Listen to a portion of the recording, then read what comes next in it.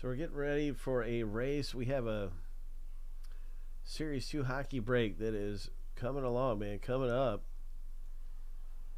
for us. And, well, wishing you the best, uh, winning some spots.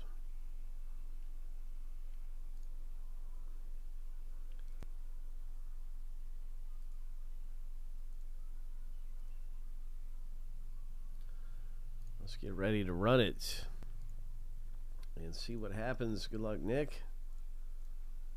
And Craig and Ryan.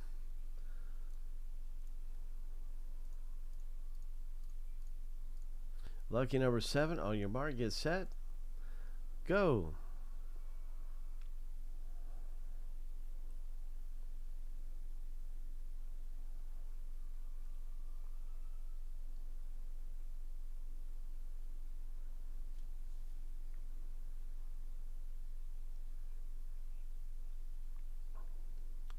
Ryan G out front, out in ahead.